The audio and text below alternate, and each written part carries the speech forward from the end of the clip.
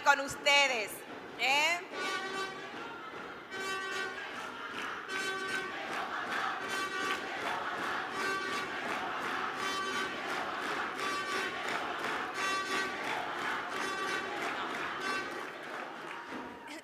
Bien, bueno, pues me estoy muy contenta de estar aquí con ustedes, mis queridos compañeros, miembros del comité político y miembros del comité central, maestros y maestras, eh, miembros de esta comunidad educativa, mis queridos amigos y amigas, todos y todas. Me uno a las salutaciones anteriores, protocolares, y bueno, resaltar la presencia de que efectivamente nos acompaña nuestra gran maestra, nuestra maestra Cristina Lizardo, mi compañera y hermana, y en ella a todas las a todas las maestras. Asimismo, pues también resaltar eh, la presencia del, gran maestro don Melanio Paredes, el, el secretario de nuestra Secretaría de Educación, don Andrés de la Mercedes, nuestro queridísimo y muy amado senador, maestro, cooperativista, eh, don Valentín Medrano.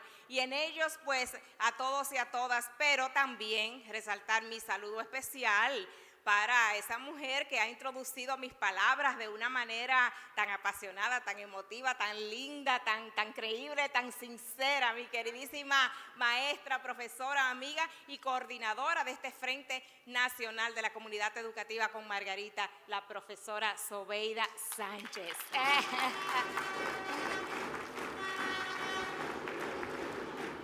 Bueno, pues quiero darles las gracias con toda sinceridad, con todo mi corazón, por este desborde de energía, de compromiso y de pasión por la educación con Margarita. Me siento muy orgullosa de todos ustedes y que pues hayan decidido asumir esta batalla conmigo. Esta es una batalla realmente por un país donde la educación vuelva a ser el centro de las políticas públicas y de la promoción social y económica.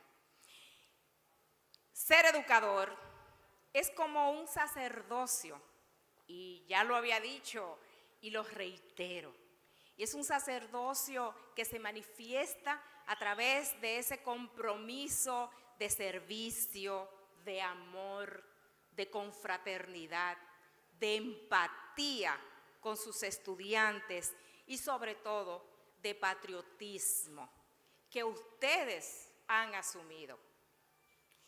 Para nadie es un secreto que uno de mis mayores deseos es que nuestro país pues vuelva a confiar en que sus autoridades son capaces de hacer las mejores inversiones para el bienestar y la felicidad de la familia dominicana.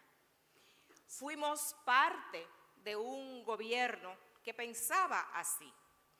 Los gobiernos del Partido de la Liberación Dominicana hicieron un verdadero compromiso con el pacto educativo con esa inversión del 4% del Producto Interno Bruto para la educación y el compromiso también con la excelencia de la docencia. Fue un gobierno que asumió, asumió una tarea que parecía imposible y se comprometió con la inversión de ese 4% del PIB en la educación, convencidos, como lo estoy yo también, que la educación es la mejor inversión que podemos hacer por el presente y el futuro de nuestro país. Por eso se trabajó tanto en el gobierno pasado, encabezado por el compañero y amigo licenciado Danilo Medina.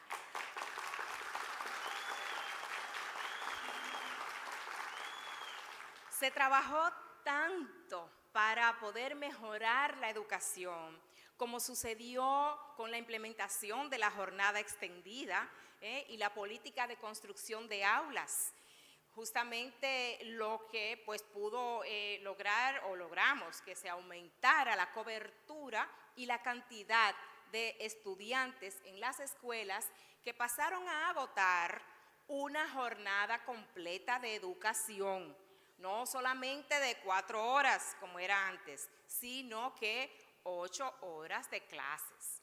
De hecho, una de cada tres aulas que existen en el país fueron construidas por el periodo gubernamental 2012-2016, periodo en que yo fui pues vicepresidenta. Mejoramos el salario, tal como ha sido dicho aquí, y aportamos al bienestar de casi 100 mil docentes a nivel nacional. Integramos más de 12 mil nuevos maestros al sistema educativo. Sin embargo, sin embargo, a pesar de que avanzamos mucho, pues también puedo reconocer y debo de reconocer que hay mucho por hacer para construir un mejor futuro. Hoy en día, nuestro gran reto, y ustedes lo saben mejor que yo, pero estoy muy enterada y, actualizada de que nuestro gran reto es justamente mejorar los aprendizajes y lograr que cada estudiante dominicano pueda desarrollar lo mejor de sí mismo como persona, como estudiante, como ciudadano, gracias al trabajo que se realiza en las aulas. Y para esto estoy absolutamente convencida de que la clave está en que el país cuente con docentes y directores motivados, entrenados y apoyados. Un reciente informe de McKinsey dice que, y cito, la calidad de un sistema educativo tiene como techo la calidad de sus docentes. Por ende, si el futuro del país está en la educación, esto quiere decir que el futuro del país está en manos de ustedes, los docentes.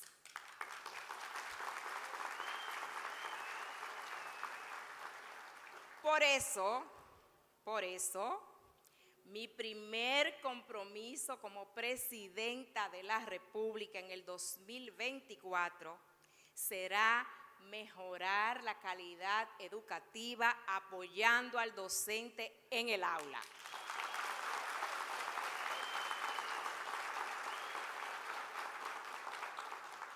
todo funcionario del sistema educativo, desde el ministro hasta los técnicos docentes, deben trabajar con el objetivo de facilitar los procesos y eliminar todo lo que distrae al docente de su principal tarea, que es la enseñanza.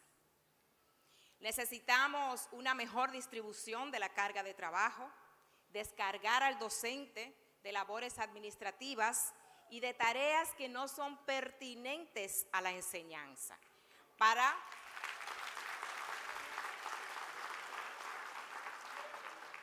para que ustedes puedan sacar tiempo para lo verdaderamente trascendente, que es su desarrollo profesional la planificación de sus clases y algo muy importante que es la actualización lateral o de pares a pares. Para ello, entonces, vamos a construir las comunidades de aprendizaje profesional para que los docentes puedan gestionar su desarrollo profesional y psicoemocional, ¿eh? tanto de manera individual como colectiva. Yo creo en exigir lo mejor de, nuestros docentes y de nuestros servidores públicos, pero solo así lo podemos hacer si elevar y si elevamos entonces también ese apoyo a ustedes para poder lograr elevar la educación y la calidad educativa en el país.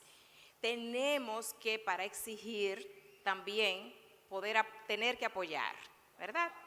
Por eso también vamos a implementar algo que va a resultar muy novedoso en el país, pero que tengo la plena confianza de que con un buen acompañamiento, sin populismo, como sabemos gobernar y gerenciar, pues vamos a otorgarles a ustedes un año sabático.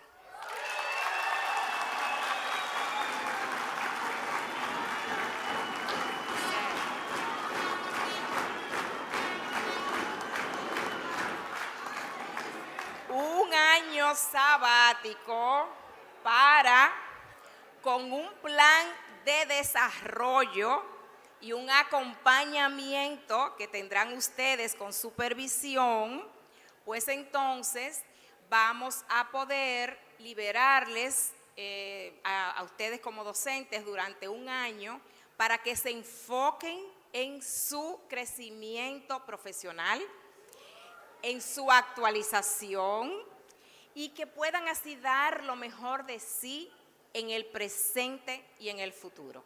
¿Les parece?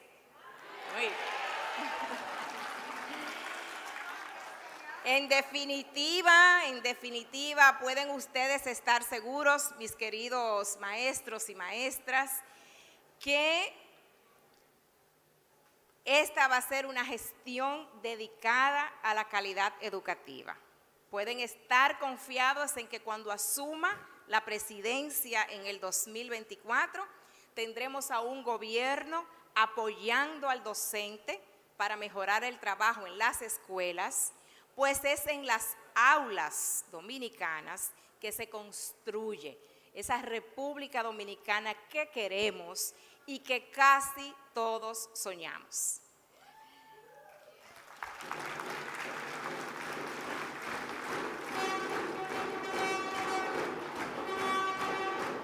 Mis queridos, mis queridos amigos y amigas, el gobierno del cambio, del cambio en reversa del señor Abinader Corona, ha abandonado todas las buenas prácticas de la gestión educativa de los gobiernos del Partido de la Liberación Dominicana. A mí no me sorprende, para ser sincera, porque han basado su gobierno en desmeritar, destruir y querer desbaratar todo lo que se hizo anteriormente, que estaba bien hecho. Porque este gobierno del PRM y del señor Abinader Corona es el gobierno, simple y llanamente, de las relaciones públicas, mientras que los gobiernos del PLD fueron los gobiernos de las políticas públicas.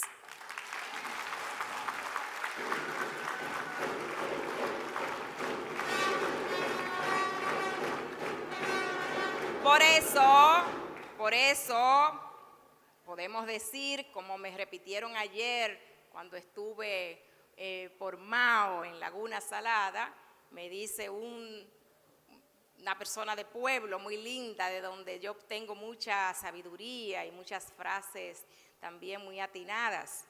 Me dice, doctora, lo que pasa es que este gobierno es un cacarón vacío.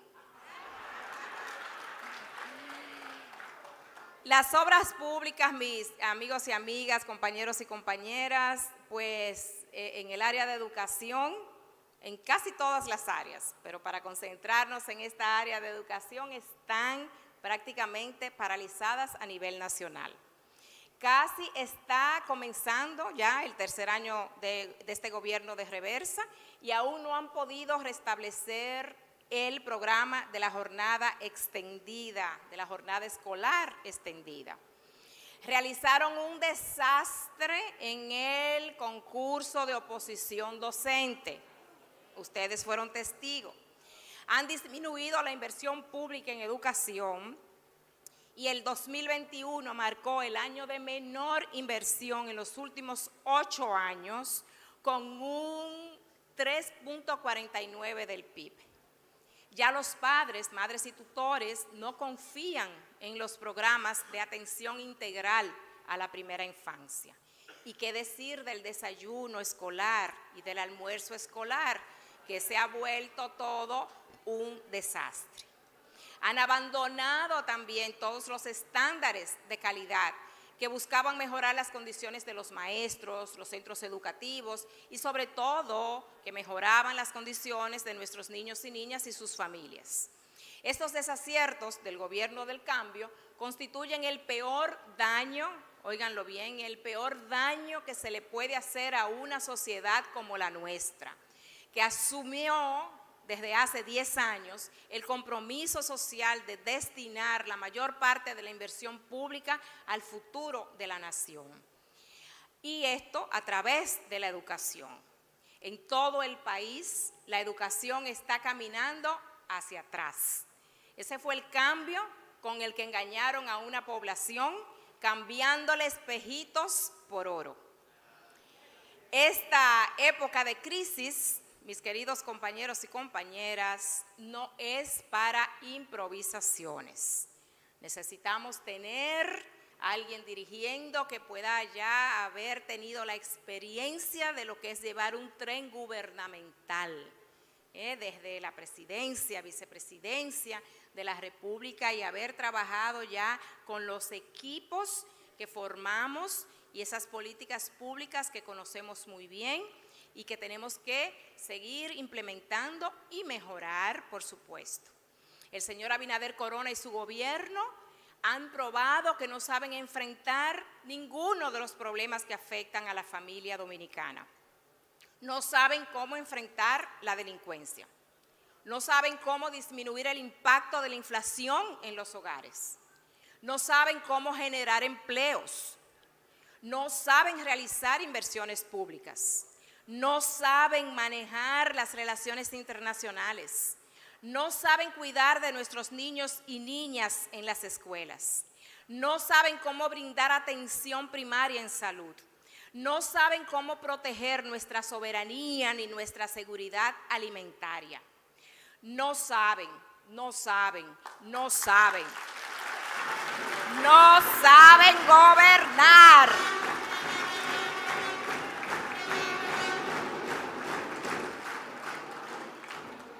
Este Frente Nacional de la Comunidad Educativa con Margarita, entonces, mis compañeros y compañeras, este es el espacio donde nos vamos a juntar los cientos de miles de docentes, padres y madres, de estudiantes y miembros de la comunidad educativa que estamos preocupados y queremos ocuparnos del futuro de la educación en nuestro país.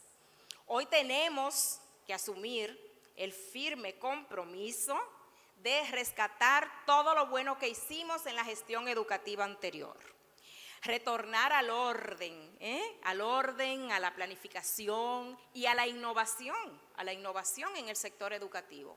Restablecer también la jornada extendida, restaurar los estándares en los concursos de oposición, invertir correctamente el 4% del PIB en educación, continuar las mejoras constantes de las condiciones de nuestros docentes y del personal administrativo.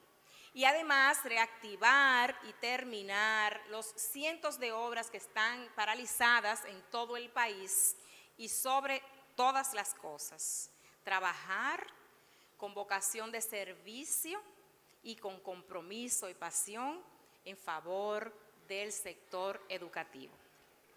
Ese es el compromiso que estamos asumiendo hoy y que ustedes asumen con esta juramentación para poder volver a la revolución educativa. Y para eso el liderazgo de todos ustedes es fundamental. Necesitamos que recorran cada punto del país llevando el mensaje de que este proyecto está comprometido con el retorno a la revolución educativa, a la mejora de la escuela,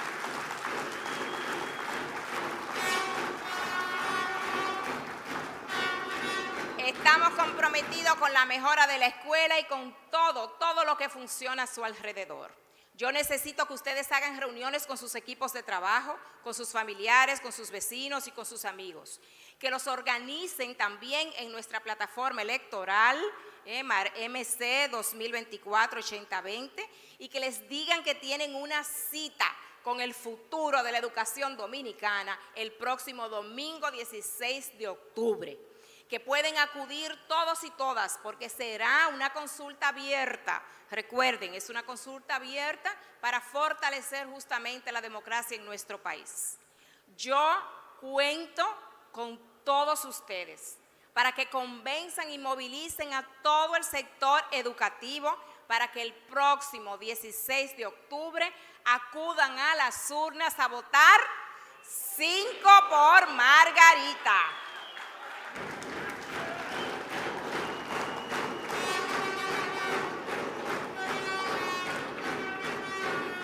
Trabajo, el trabajo es arduo, sé que sí, pero ustedes tienen un producto, una marca reconocida a nivel nacional que a quien todo el mundo le quisiera llegar, que de una forma u otra conocen mis acciones, mis hechos, y que ya nos toca ser cabeza y dejar de ser cola.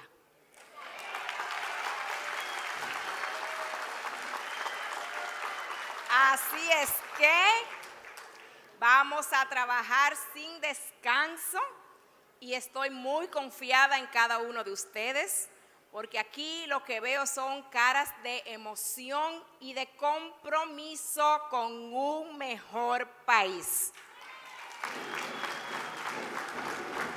Aquí, aquí está la fuerza de ese sector magisterial del Partido de la Liberación Dominicana, de sus militantes y sus simpatizantes. Aquí está el deseo de un país mejor. El próximo 16 de octubre damos el primer paso para sacar al PRM del Palacio Nacional.